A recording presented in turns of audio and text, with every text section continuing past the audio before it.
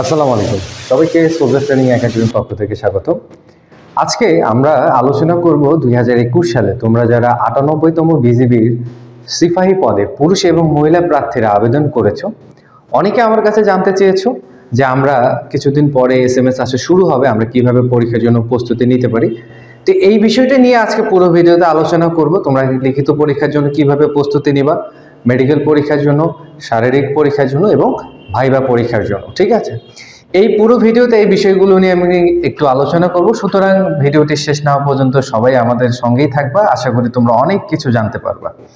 দেখো বিজিবি সিপাহী পদে পরীক্ষার সিস্টেমটা এরকম যে এস এম এর মাধ্যমে একটি জেলার যদি প্রার্থী অনেক বেশি আবেদন করে থাকে, সেক্ষেত্রে অল্প অল্প সংখ্যক ভাগ করে করে তারা কিন্তু ডাক দিবে। তো যাই হোক, তুমি প্রথম এস এম এস পেলা। এস এম এস পাওয়ার পরে তুমি তোমার নিকটবর্তী বিজিবির যেখানে হেডকোয়ার্টার রয়েছে, সেখানে ডাক দেওয়া হবে, সেখানে পরীক্ষা দিতে যাওয়া। পরীক্ষা দিতে যাওয়ার পরে তোমাদের বেসিক যে বিষয়গুলো রয়েছে, কাগজপাতি ঠিক আছে কিনা এবং হাইটটা ঠিক আছে কিনা। যাদের হাইটে প্রবলেম আছে, তারা প্রথমে বাদ পড়ে যাবা। যারা হাইটে টিকে যাবা, তারা সেক্ষেত্রে পরবর্তীতে অন্যান্য যে পরীক্ষাগুলো থাকবে বা ইভেন্টগুলো থাকবে, সেগুলোতে তোমাদেরকে অংশগ্রহণ করতে হবে। এখন যাদের হাইটের একটু সমস্যা যদি থাকে, পাঁচ ফিট ছয় ইঞ্চি পুরুষ প্রার্থীদের ক্ষেত্রে লাগে, এখন এদের এই ক্ষেত্রে যদি কারও একটু উনিশ বিশ থাকে, তোমরা একটু এই কয়দিন একটু ব্যায়াম করো, একটু এক্সারসাইজ করো, বেশি করে সাঁতার কাটো, তাহলে দেখবে যে ইনশাল্লাহ অনেকটা রিকভার করতে পারবা। তো যাই হোক হাইটে টেকার পরে তোমাদের বিভিন্ন ধরনের কাগজপাতি সঙ্গে নিয়ে যেতে হয় পরীক্ষার কেন্দ্রে। এই কাগজপাতিগুলো যদি কারও অরিজিনাল থাকে অরিজিনালও তুমি সঙ্গে নিয়ে যেতে পারো, পাশাপাশি অরিজিনাল না থাকলে সত্যায়িত করে তুমি সেগুলো নিয়ে যাবা। কাগজপাতি কম থাকার কারণে কিন্তু অনেক প্রার্থী পরীক্ষার কেন্দ্র থেকে বাদ পড়ে যায়। সুতরাং এটা খুবই গুরুত্বপূর্ণ, এটা তোমাদেরকে অবশ্যই মাথায় রাখতে হবে। এরপরে যারা টিকে যাবার প্রাথমিক বাছাই পরীক্ষায়, এর তারপর তাদের শারীরিক পরীক্ষা হয়। শারীরিক পরীক্ষার ইভেন্টগুলোর মধ্যে দৌড় হতে পারে, চিন আপ হতে পারে, রোপ ক্লাইম্বিং হতে পারে, সিট আপ হতে পারে, পুশ আপ হতে পারে, এই ধরনের শারীরিক ইভেন্টগুলো আসলে বিজিবিতে হয়ে থাকে। শারীরিক ইভেন্টে ফলো করার জন্য এখন থেকে এখনও যেহেতু এস এম এস আসেনি, এখন থেকে তুমি প্রতিনিয়ত প্র্যাকটিস করো। আমাদের ইউটিউব চ্যানেলে অনেকগুলো শারীরিক ইভেন্টের উপরে ভিডিও টিউটোরিয়াল আকারে আমরা দিয়েছি। সেই ভিডিও টিউটোরিয়ালগুলো তোমরা চাইলে দেখে দেখে প্র্যাকটিস করতে পারো। যারা শারীরিক ইভেন্টে পাস করবা, এরপরে তোমাদেরকে কি করবে?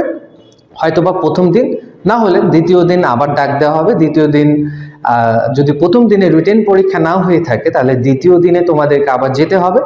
গিয়ে রিটেন পরীক্ষায় অংশগ্রহণ করতে হবে। রিটেন পরীক্ষায় বাংলা, ইংলিশ সাধারণ জ্ঞান সাধারণ গণিত এবং আইকিউ আবার অনেক ক্ষেত্রে কিন্তু সাধারণ বিজ্ঞানেরও কিছু প্রশ্ন এসে থাকে। অর্থাৎ এই ছয়টা টপিক্সের উপরে তোমাদেরকে খুবই ভালোভাবে এখন থেকে প্রিপারেশন নিতে হবে।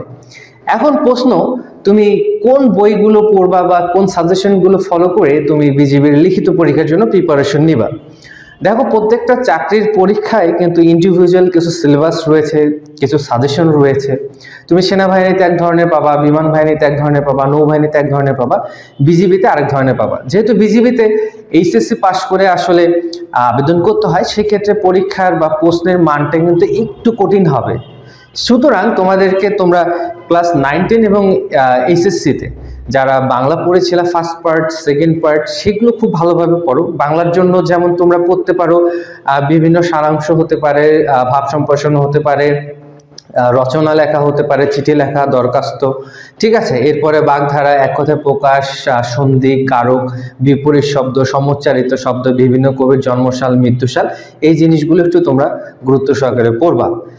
ইংলিশের জন্য কোন ধরনের বিষয়গুলো পড়ব? অবশ্যই তোমাদের এসে রাইটিং থাকবে বা প্যারাগ্রাফ রাইটিং থাকবে গ্রামাটিক্যাল কিছু বিষয় থাকতে পারে sentence correction voice change narration tag question preposition article এই বিষয়গুলো একটু ভালোভাবে পড়বা। পাশাপাশি আরেকটা বিষয় তোমরা জোর দিবা, সেটা হচ্ছে ট্রান্সলেশন থাকে, বাংলায় সেন্টেন্স দিবে, ওটাকে ইংলিশে ট্রান্সলেট করতে হবে। এই প্যাসেজ টাইপের বিষয়গুলো একটু এখন থেকে তোমরা মনোযোগ সহকারে পড়ো, তাহলে দেখবা ইনশাল বিজিবি আটানব্বইতম ব্যাচে যারা পরীক্ষা দিতে যাবা, খুবই ভালো করতে পারবা। গণিতের জন্য কি করবা? গণিতের জন্য ক্লাস এইট থেকে নাইন টেন পর্যন্ত যে গণিতের টেক্সট বইটা রয়েছে, সেই টেক্সট বইয়ের পুরো সিলেবাসটাই তুমি কাভার করে ফেলো। অর্থাৎ মান নির্ণয় গড়, ঐকিক নিয়ম, উৎপাদক, সরল, ঠিক আছে? লসাগু, এগুলো পড়তে হবে। আর এরপরে আর কি আছে? অনুপাতের অঙ্ক আছে, গড়ের অঙ্কগুলো আছে লাভ ক্ষতির অঙ্ক আছে সুদ কষার অঙ্কগুলো রয়েছে। এগুলো পড়ো, বিভিন্ন জ্যামিতিক সংখ্যাগুলো পড়ো। তাহলে দেখবে পরীক্ষা ইনশাল্লাহ তুমি ভালো করতে পেরেছ। সাধারণ জ্ঞানের জন্য কি করবা? সাধারণ জ্ঞানের জন্য বিভিন্ন ধরনের রাজধানী, মুদ্রার নাম, সমসাময়িক অতি সাম্প্রতিক যে বিষয়গুলোর উপরে সাধারণ জ্ঞান রয়েছে, সেই বিষয়গুলো সম্পর্কে একটু পড়ালেখা করো। এরপরে বাংলাদেশ সম্পর্কে ভালোভাবে জানো, বাংলাদেশের মুক্তিযুদ্ধ সম্পর্কে ভালোভাবে জানো, বিজেপি সম্পর্কে ভালোভাবে জানো, সামরিক বাহিনী, বেসামরিক বাহিনীর বিভিন্ন প্রধানের নাম, স্লোগান, এই বিষয়গুলো একটু তোমরা গুরুত্ব সহকারে একটু পড়বা। এবং আন্তর্জাতিক বিষয়ে কি কি হচ্ছে, না হচ্ছে, বিভিন্ন সদর দপ্তর কোথায়, বিভিন্ন গুরুত্বপূর্ণ অ্যাব্রিভিয়েশনগুলো রয়েছে, এগুলো একটু পড়ো। সাপোজ ধরো ইউএনও এর ইউএন এর জাতিসংঘের মহাসচিবের নাম কি, ফিফার মহাসচিবের নাম কি এই বিষয়গুলো একটু তোমরা এখন থেকে একটু পড়বা।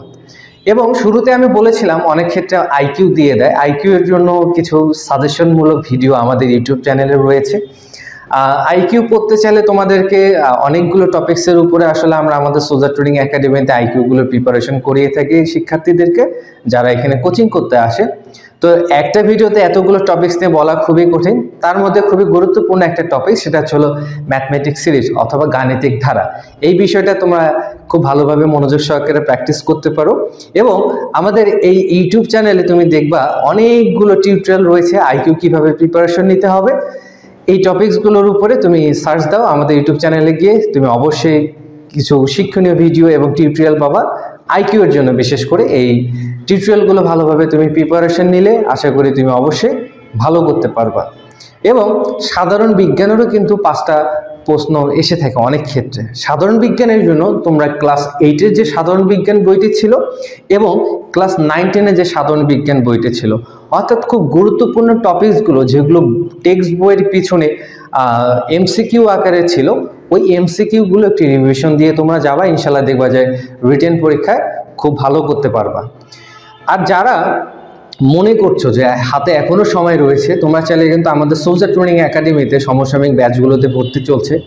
রিটেন পরীক্ষার জন্য ফিজিক্যাল পরীক্ষার জন্য আমাদের এখানে এসে তোমরা স্বল্প খরচে পনেরো দিনের একটা শর্ট কোর্স করে যেতে পারো। তাহলে আমরা সাজেশন ভিত্তিক যে শিটগুলো রয়েছে, সেগুলো পড়লেই তুমি কিন্তু পরীক্ষায় আশা করি অনেক ভালো করতে পারবা এবং পরীক্ষা কমনও পাবা।